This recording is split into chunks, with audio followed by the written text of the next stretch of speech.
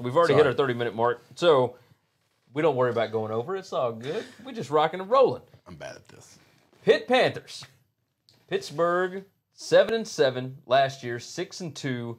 They were your ACC Coastal champions. I know. It's kind of surprising. It surprises me so Yeah. much. Returning starters, they've got five on offense, five on defense back. Experience returning number 79 in the country. That is good for ninth in the ACC. Their over under is five and a half. The over juice is minus 150, so they expect them to go uh, six wins. The under is plus 130. Pat Narduzzi, 28 and 24 in four years. He is replacing two 1,000 yard rushers, four offensive linemen, and 12 starters overall. Former US, uh, UMass uh, head coach Mark Whipple is the new offensive coordinator. That could be a good thing, I guess, because they were so heavily uh, reliant on the run last year. Uh, but they they've got quarterback Kenny Pickett back, wide receiver uh, Maurice Ffrench. Uh, got those two guys to work with. Obviously, that is a foundation to build on. The final six games of last year, their opponents averaged only 323 yards per game. I'm strong. Yeah, lots of upperclassmen starting, but they are young and experienced uh, behind them. Not much for Whipple to work with, but the team is built physical. Defense is obviously going to help some. I, they they really surprised me the back half of last year, but a lot of that was those offensive linemen and the running backs. Controlling, co- controlling line scrimmage, controlling the game clock, defensive staying off the field. So when they're on the field, They they, can really, be really aggressive and they can they can make big stands. I agree.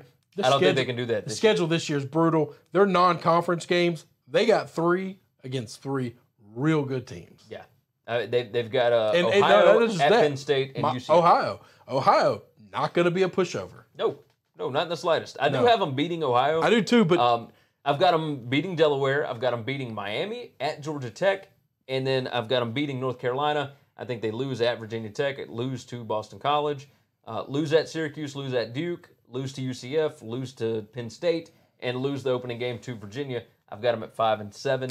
I got them three and nine. And, Holy and I, mackerel! and, and, and I think Narduzzi's better than that. Well, you, you but that's it.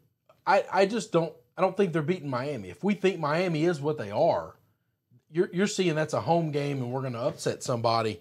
Yeah, But if they upset somebody and they go four and, and, and eight, it wouldn't surprise me. I think they would do it early against Virginia, or or maybe there is a chance. We covered this in the Big Ten uh, preview earlier, which was it wouldn't shock me if Penn State has kind of a collapse and they they win that game.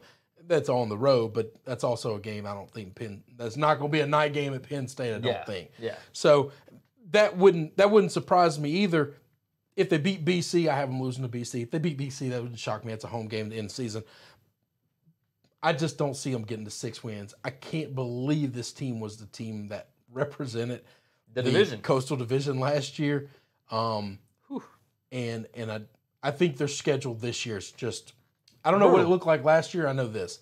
It ain't the same. They got four non-conference games that are gonna make them fight like hell. Yeah. Oh, absolutely. And and they did that last year, right? They, they well, not not to this extent. No, not to they, this they played they played Penn State last year, but you know, it Pitt always does this, uh, and and they may shock us again. But Narduzzi has got to find a way to stabilize this team. He's a good coach. Yeah, At some point in time, he's got to find a way to recruit. I don't see him.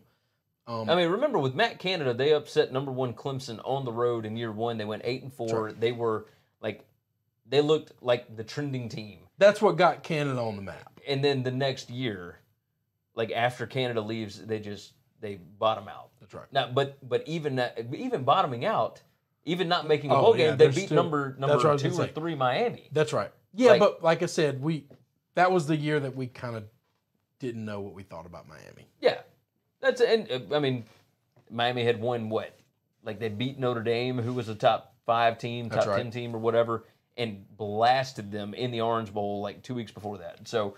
You know, you just you never know what to make of these teams. Sometimes they're all paper tigers, and it is what it is. Yeah, I could be I could be way off on this. That's, I've got them five and seven because they're they're going to beat somebody, You're right. and like Narduzzi does that. This I- team I is really probably-